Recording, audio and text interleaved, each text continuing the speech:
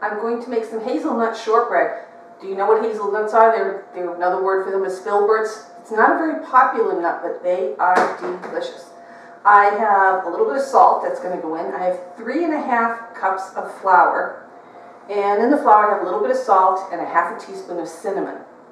I've got uh, three sticks of butter. I've got, uh, what do I got here sugar? One cup of sugar. I have some almond extract. I have some vanilla extract. I have two teaspoons of water and one cup of finely chopped hazelnuts.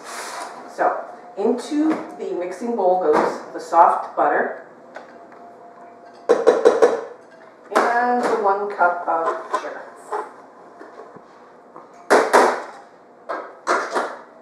I'm going to send that on a ride so it gets nice and creamy.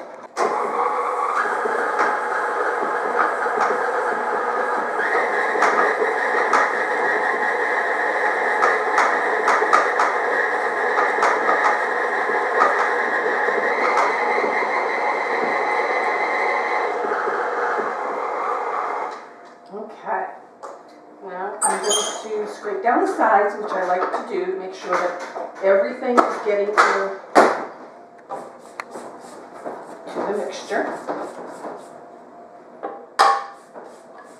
And now I will add, I'll add the salt and get that out of the way. So that's a half a teaspoon to a teaspoon, up to you. I'm going to put half. I'm going to put in, this is almond extract, very strong approximately a teaspoon. And a teaspoon of vanilla. And two teaspoons of water. And back on the mixer. And then we'll add our dry ingredients afterwards. The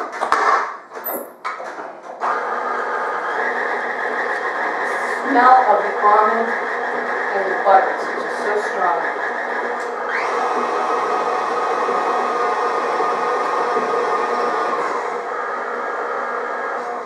Okay, back off.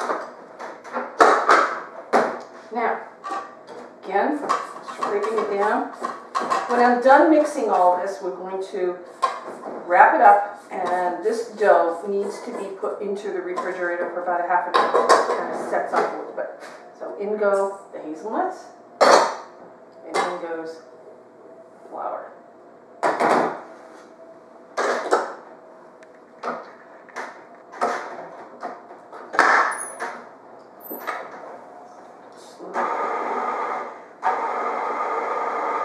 Doing it slowly so I don't get this big puff of flour in my face.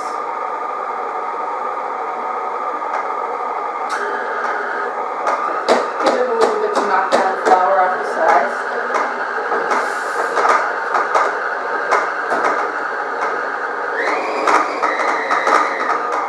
Perfect. Now,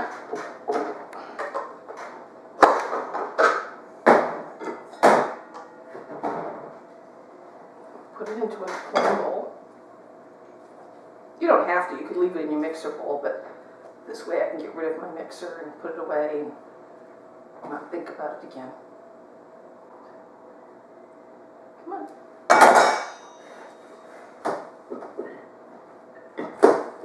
We're going to then roll this dough out. Going to cut it into whatever shapes you happen to like. You can make them diamonds, squares, rectangles, rounds, whatever.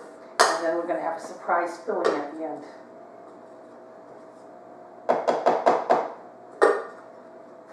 So there we go. Plastic wrap.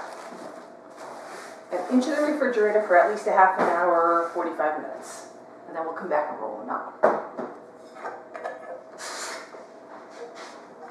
Going to proceed with our hazelnut shortbread. It's been in the refrigerator for uh, a little over half an hour, maybe 35 minutes or so. While I took a lunch break. And now I'm going to roll these out.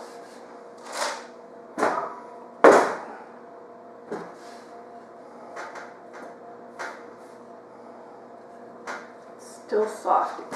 You could actually leave this, probably this cookie dough in the refrigerator overnight although it would be very hard in the morning because the butter would set up as hard as regular butter would in the refrigerator.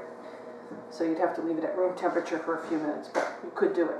You could probably even take the dough, make it, and freeze it in Ziploc bags and take it out in portions and just make a few at a time.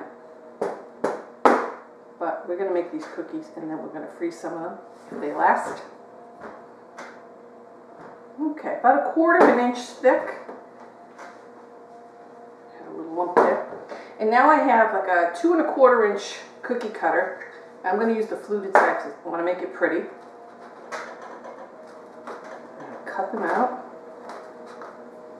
Put them on a, I have parchment lined sheet.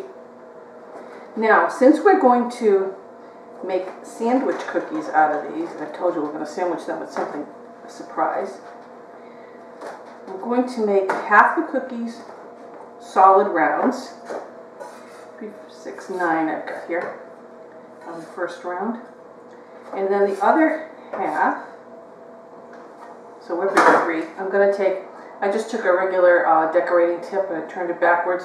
If you have anything else that will cut a little hole in the center.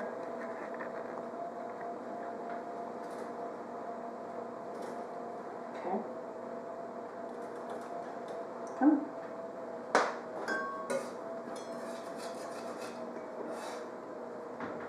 Seconds so that you have a nice hole in the top of the top half of the cookie so the stuff that we put in the middle will show pretty.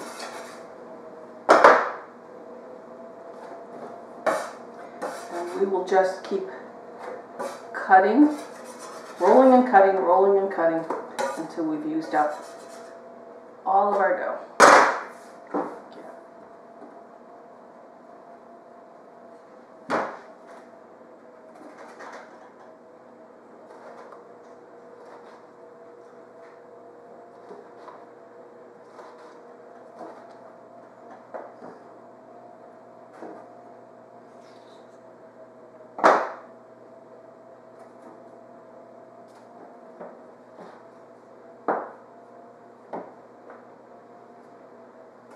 I have a little bit more dough left, and um, if I get ambitious when the first batch goes in there, I'll, I'll get a small cookie sheet out and finish these up.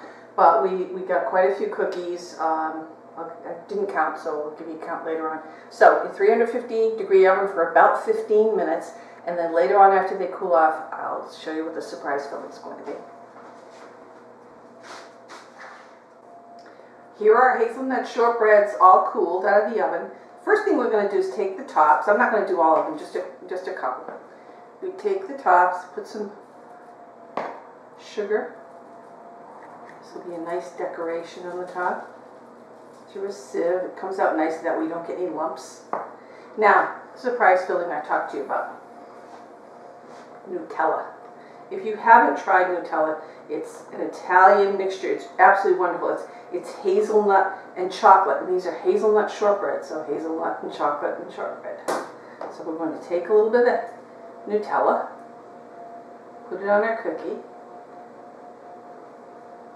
take a pretty top, glue it down, and look at that.